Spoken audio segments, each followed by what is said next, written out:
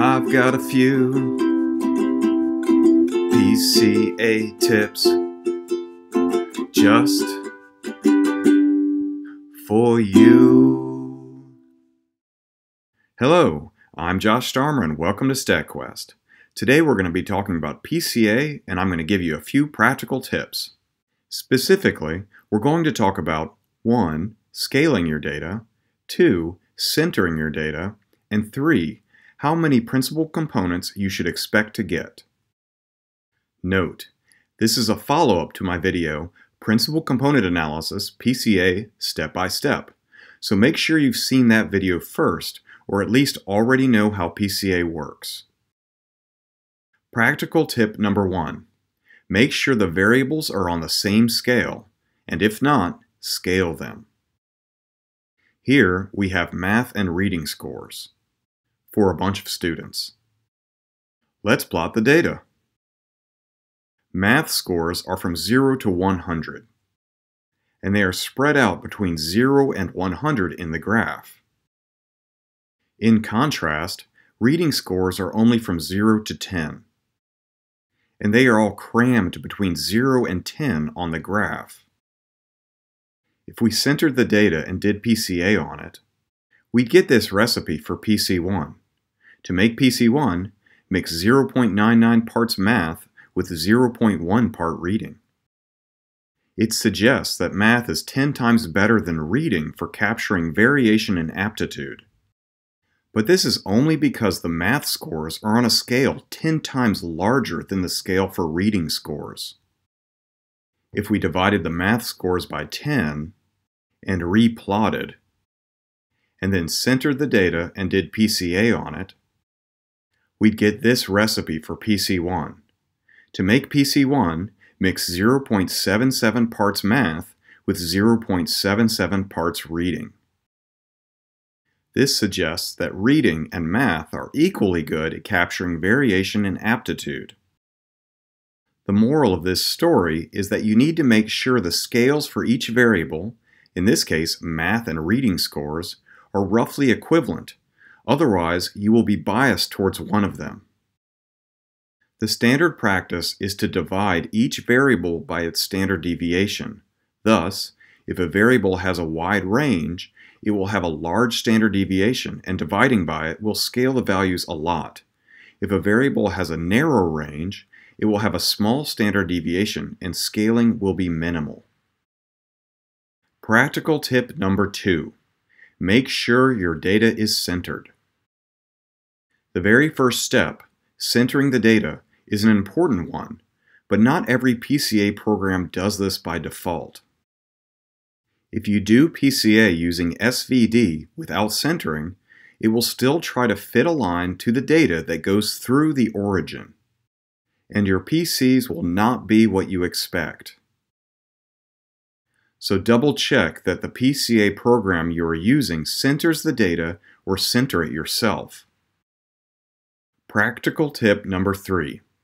How many principal components can you expect to find? In the first example, we had math and reading scores from a bunch of students. We then plotted the data on a two-dimensional graph. We then centered the data. And then we found the best fitting line that goes through the origin. This is PC1. The second PC, PC2, was the line perpendicular to PC1. Then we just moved on without asking if there were any more principal components. So now let's ask the question, is there a third principal component? To find a third PC, we'd need to find a line perpendicular to both PC1 and PC2. And in two dimensions, that's not possible, so the answer is no. To see why it's not possible to draw a line perpendicular to both PC1 and PC2, we could add a third line and rotate it until it is perpendicular to PC1 and PC2. This position is perpendicular to PC2, but not PC1. So we keep rotating. This position is perpendicular to PC1, but not PC2. Thus, When we measure two things, math and reading in this case, per sample, i.e. per student, at most we can have two principal components. Now imagine that math and reading scores are 100% correlated. Then we centered the data. Then we found the best fitting line, principal component 1. Technically speaking, we could find a line perpendicular to PC1. But if we projected the data onto this line, it would all just go to the origin. This means that the eigenvalue for the new line, the sum of squares of the distances between the points projected onto the line and the origin, would be zero. This means that PC1 accounts for 100% of the variation and the new line accounts for 0%. Thus, for all practical purposes, PC1 is the only one that matters.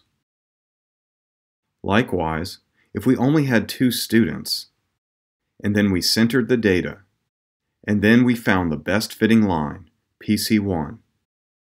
Then, just like before, we could find a line that is perpendicular to PC1, but the eigenvalue would be zero.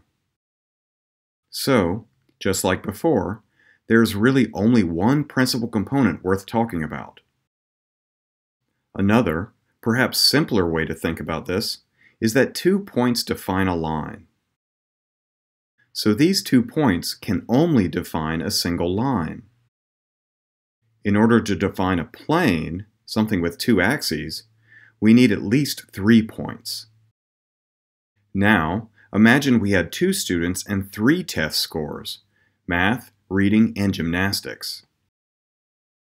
We can center the data, and just like before, since we only have two points, and two points define a line, we only have one PC. Now imagine we had three students. And we remember that three points define a plane. And a plane has only two axes. Then we would predict that there would only be two principal components. So we can center the data, find the line through the origin that fits best, PC1, then find the line perpendicular to PC1 that fits best. And that's it. Since a third line would have an eigenvalue equal to 0, there's no PC3. In summary, technically, there is a PC for each variable in the dataset. However, if there are fewer samples than variables, then the number of samples puts an upper bound on the number of PCs with eigenvalues greater than zero. Hooray! We've made it to the end of another exciting StatQuest. If you like this StatQuest and want to see more, please subscribe. And if you'd like to support StatQuest, well, consider buying one or two of my original songs. Okay, until next time, quest on!